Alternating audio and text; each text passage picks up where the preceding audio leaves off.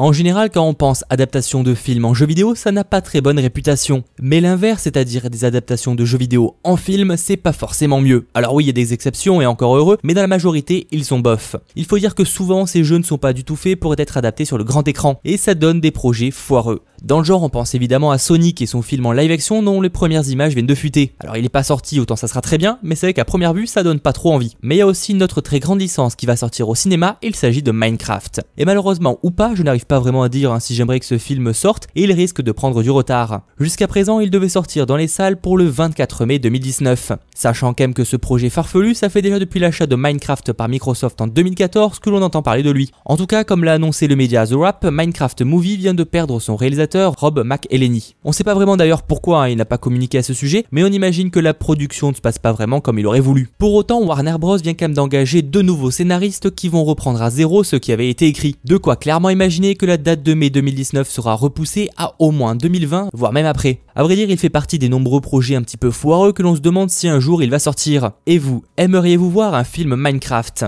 En vrai, depuis tout à l'heure, je suis un petit peu mauvaise langue car comme nous l'a prouvé les Minecraft Story Mode, il y a des possibilités d'histoire. Mais a-t-on vraiment envie de voir ça au cinéma? Rendez-vous dans les commentaires. C'était Mathéo, ciao tout le monde